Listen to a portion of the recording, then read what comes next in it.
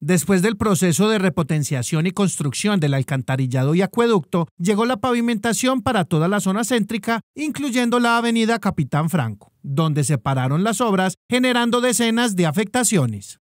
Sí, claro que nos ha afectado demasiado, nos ha perjudicado en lo ambiental, en lo paisajístico, en la movilidad, también en la salud, porque cuando llueve se crea el criadero de zancudos y el polvo también perjudica.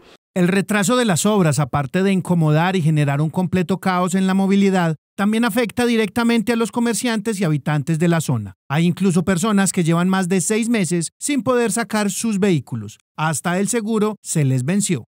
Bueno, nosotros nos estamos viendo afectados porque como ustedes están viendo, tenemos eh, los vehículos ahí guardados, no los podemos movilizar porque no se tiene pues la forma de sacarlos.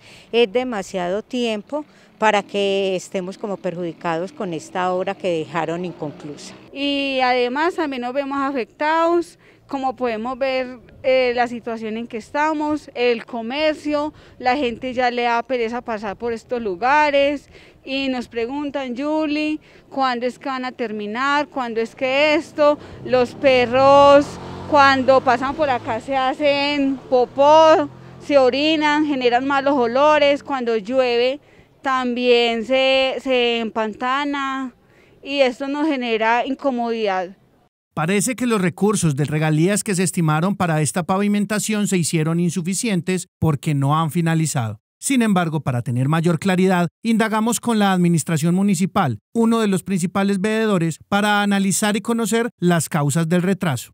Actualmente la Capitán Franco nos encontramos en un proceso de cesión del contrato con un nuevo contratista, eh, dado que el actual no va a poder lograr cumplir con el contrato, entonces estamos en un proceso jurídico en el que le cede el contrato a otra empresa, a otra entidad, que esperamos que dentro de cinco semanas, después de adelantar este proceso, pueda estar retomando las obras. El proyecto contaba con un presupuesto de 3.804.849.000 pesos.